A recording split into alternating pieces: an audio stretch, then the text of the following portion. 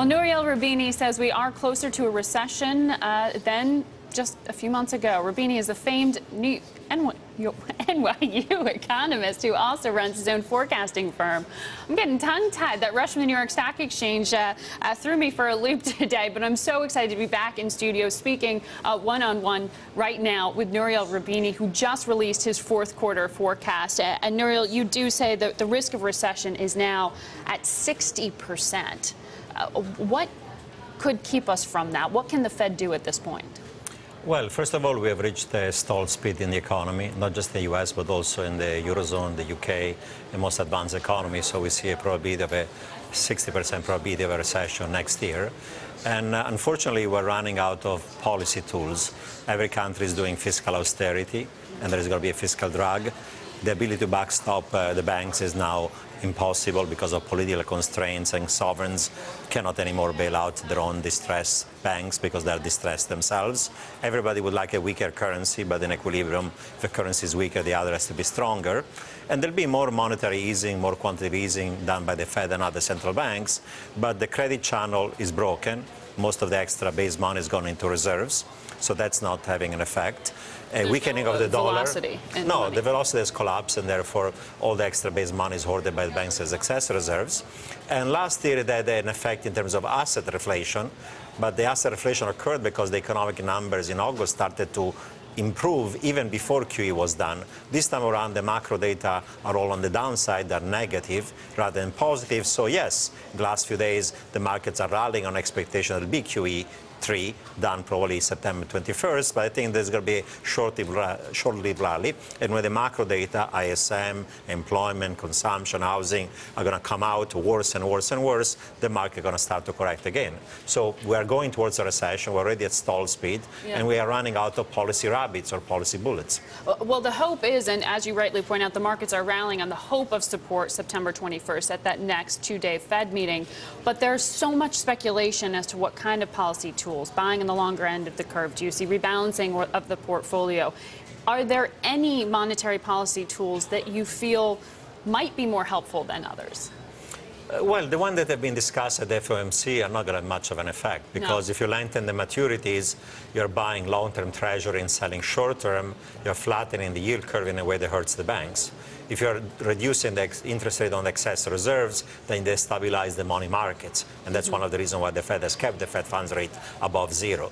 If you buy more treasury securities, two, 300 billion. Last year we did 600 billion dollar of debt. We did a trillion dollar fiscal stimulus, and we got a growth handle of 3% for one quarter, Q4, and then the first half of the year was 1% growth. This time around, we're not going to have 600 billion dollar of additional purchase of treasuries. We're not going to have a fiscal stimulus. We're going to have a fiscal drag, and therefore the short-term effect of a rally in the market is going to fizzle out when the real economy is going to go and tank. We're entering a recession based on my numbers.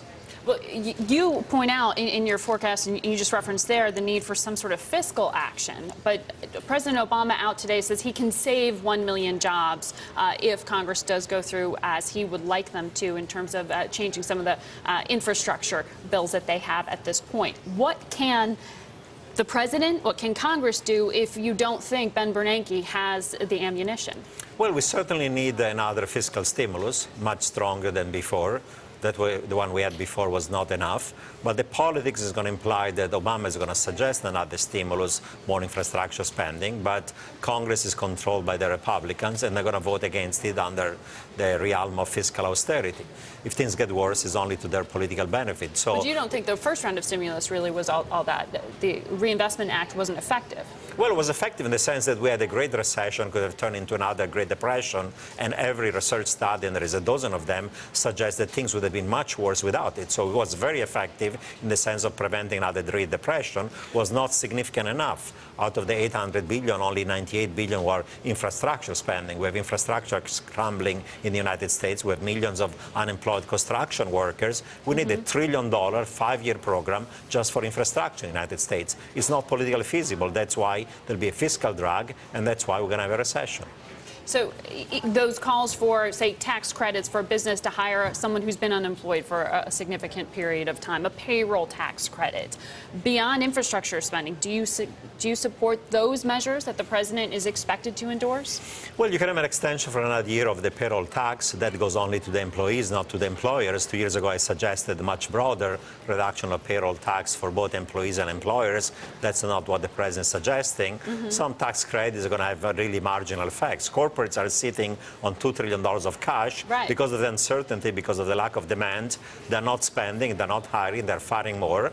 But it's perverse. They're saying we're not hiring because there is no final demand. But if you're not firing, you're not hiring, you're firing, then there is no labor income, there is not consumption, there's not final demand. So it's a catch-22 situation in which firms are behaving in a way that actually makes the recession essentially self-fulfilling. We're back in business now with Nouriel Roubini, co-founder and chairman of Roubini Global Economics. Uh, and Nouriel, you're releasing your fourth quarter forecast here. You say we are headed into recession. One of the things that people point out, many Fed governors as well, um, is that when you look at the yield curve right now, historically you see the inversion of a yield curve. It says the recession is on its way. They say this time around you're not seeing it. Why is that the case? Is it the distortion with the purchasing of the Fed uh, of treasuries, or is, is there something more at work here? Well, you know, traditionally uh, you can have inversion of the yield curve, but right now short rates are already zero, so you cannot have long-term interest rates negative. That's why technically we're having policy rates at zero, we cannot have that inversion of the curve.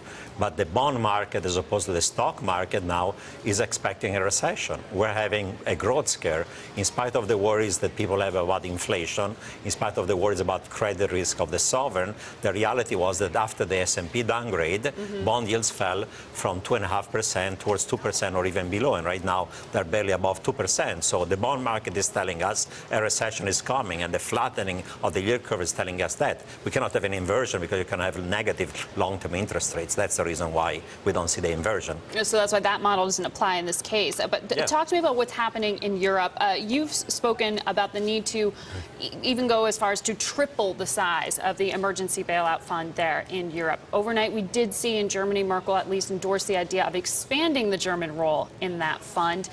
What's enough to stop contagion?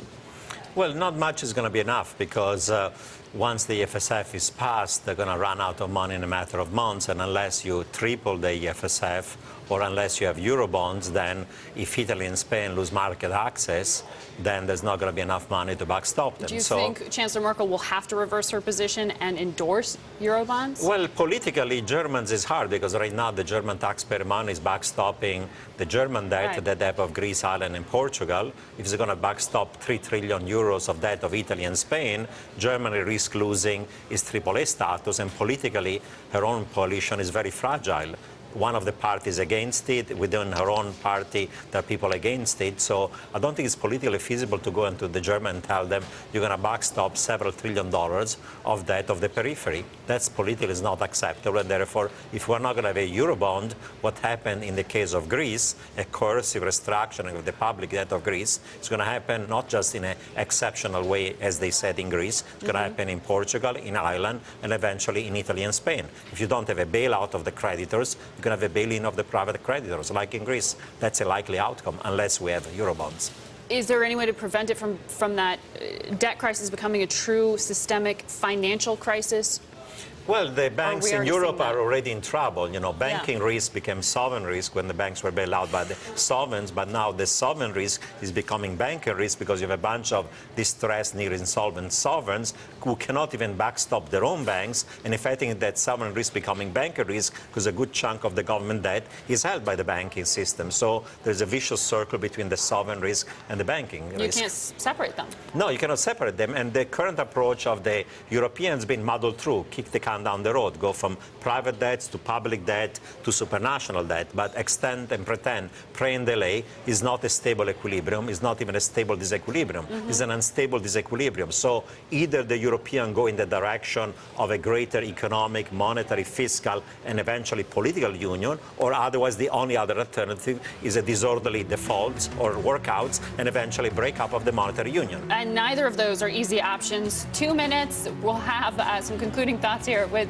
Ms. Dr. Roubini. Stay with us on In Business. You've actually gone forward uh, with the question given uh, a gloomy economic outlook, is capitalism doomed? And when you take us on a tour of the world, you're not only worried about Europe and the United States, you're raising concerns as well about China now and its growth prospects. Yes, uh, China in the short run can maintain growth because if there's going to be a severe recession, advanced economies are going to do more monetary, fiscal, and credit stimulus. But the reality is that the economy is unbalanced. Fixed investment has gone now to 50% of GDP, infrastructure, real estate, manufacturing capacity. And no country in the world can be so productive. You take every year half of your output, you reinvest into new capital stock. You're not going to have down the line three problems massive non performing loans in the banking system, a surge in your public debt that in China today is already 80% of GDP, including local government, and three, an investment boom ends up into investment bust because you have then misallocation and too many investment projects go wrong. Mm -hmm. Therefore, I see a hard landing in China as a likely event, not this year or next year, but by 2013, when this overinvestment boom is going to go bust. They would be tipped into that by the United States slowing down and Europe slowing down? That's going to worsen it. Even without the slowdown of the U.S., this overinvestment boom is going to go into a bust and a hard landing. If we're going to have weakness in U.S., Europe, and Japan, that's going to accelerate the time at which that weakening of China is going to occur. Now, we have such a global audience. A lot of people very excited you're coming on the show today. So we had some questions come in via our Facebook page. One of them uh, from Victor Carano, and he says, on China, if you do look at this case of a bursting bubble there, what is the real debt exposure for Chinese banks? Well, if you're looking at the Chinese banks, they have a huge amount of exposure to state and local government, to state-owned enterprises, and to these special purpose vehicles that have done the financing of the local investment. Has been several trillion dollar yuans. Now, we estimate that about 30% of these loans are going to go into default and becoming non-performing. So the hit is going to be certainly on the Chinese banks. Some of them are going to be backstopped by the local governments. If the local governments cannot do the job, it's going to be the central government. At the end of the day, the banking crisis is going to be losses of some agents of the government, either state-owned bank or provincial government or the central government. And that's why the official debt of China is only 17% of GDP at the central level. But when you add the banks, mm -hmm. the state and local government, and all the other liabilities, we're already estimating that the public debt of China is 80% of GDP. So you're going to have an NPL problem, you'll have a public debt and deficit problem, and then you're going to have an investment boom going bust problem. And that's why we're going to have a hard landing in China by 2013 at the latest. It sounds like put a nail in the coffin of the decoupling theory uh, as well. Uh, we also have another viewer uh, writing in with a question about Brazil. Um, what are your prospects uh, on the economic development of the BRICS, specifically Brazil, um, and I guess these currency wars that we keep hearing so much about? Well, Brazil has some strong economic fundamentals, but it depends on growth of China, export of raw material, depends on growth of the United States, Europe, and Japan.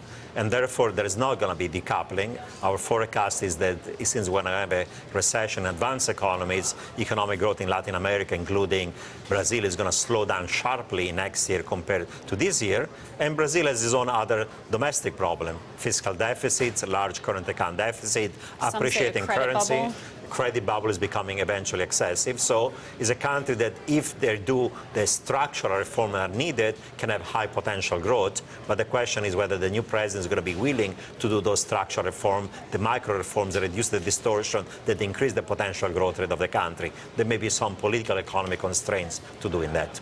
All right, Nouriel Roubini, so good having this much time with you here on In Business. Uh, thank you, you for coming on the show today. Pleasure.